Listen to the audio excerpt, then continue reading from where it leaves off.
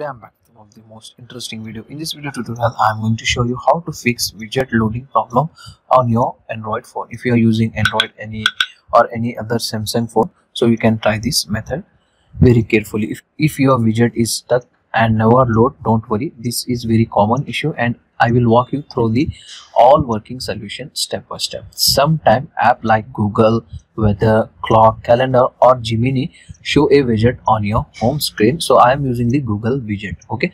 So let's get stuck on widget loading and our updates. Okay. This will happen due to cache problem, background restriction or a widget glitch.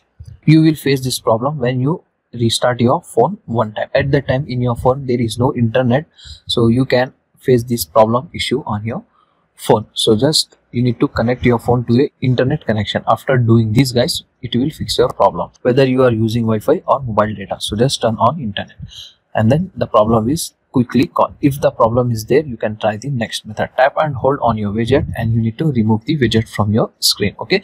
After removing you need to add it once again okay? Tap and hold on your home screen go to widget section. From here you need to find out the google widget. So i am using the google widget only. So extend the google. From here you need to drag and drop the widget to your home screen. It will 100 percent fix your problem. Still the problem is same. You can try the next method. Now tap and hold on your widget okay like this and open the app info. Now scroll down open the storage. Clear the cache and then clear the data of this. Okay after doing this guys go back.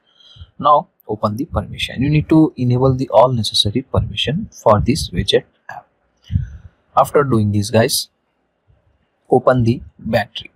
And here you need to enable the optimize option from here. After doing this guys go back now you need to update your app. So i am using the google widget. So i will update the app of google only. So open the play store and here you need to search google. Okay so just simply update the google app. If the app update is available just go ahead update your app. After updating it will fix your problem. One more thing guys. If your date and time is incorrect on your phone you need to correct your phone's date and time setting.